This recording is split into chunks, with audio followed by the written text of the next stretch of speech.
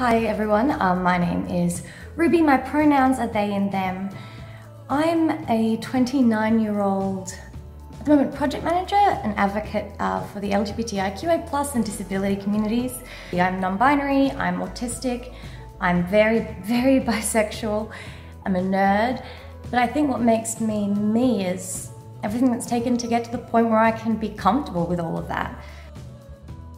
My name's Jordan. I am a volunteer and broadcaster here at Joy. I host Homophonics, which is 9 o'clock on Monday nights. It is a queer music show, so it's a show dedicated to showcasing queer artists from around the world with a big focus on local artists.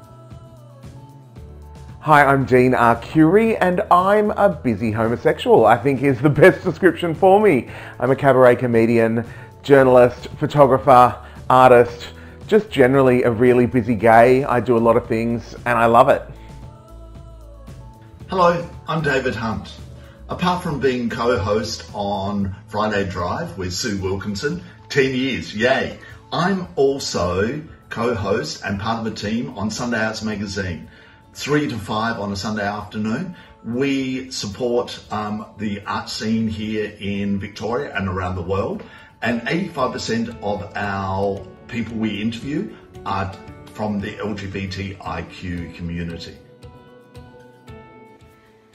My name is Annie Louey. I present Annie and Ando I'm one half of the Drive Duo on Mondays, and I also present Melbourne's Most Uplifting Music Mix on Thursday mornings. I've got a journalism background and I also started doing stand-up comedy when I was 16. Well, I'm an ally, I'm a woman of colour as well. I've got a Chinese background. I think we are all made up of experiences. That is what it means to be human. So everything that I've experienced in my life makes me unique and makes all of our Joy listeners unique as well. Hey Joysters, I'm Robbie Molinari from Friday Nights Turn the Beat Around. Um, I came to Joy about seven years ago when I first moved to Melbourne in 2012 now. Um, I started volunteering at the front desk, put in a proposal for a radio program, um, and eventually got a slot on a Friday night, which I continue to host. Uh, it's a uh, collection of 70s and 80s disco music and some funk and soul stuff as well from the same era. Artists. And over the past 12 months of me um, of me doing the show, I've had the opportunity to interview some incredibly talented musicians, and it has just been so fun discovering them for myself, but also allowing the world to discover them. So all the work that I've been able to do and all the space I've been able to make for BI plus people and for LGBTIQ plus people with disabilities, particularly those of us who are neurodiverse, all of that's come from joy. Um, all that's come from joy giving, from some, from joy making a space for, for me um, and for BI plus people and letting me have a voice in there. I remember when Joy started.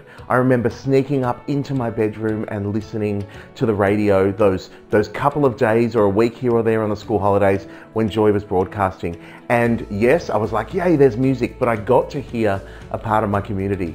And the fact that the station has grown so much to now be 24 7 out loud and proud, and that I can be a part of that means everything.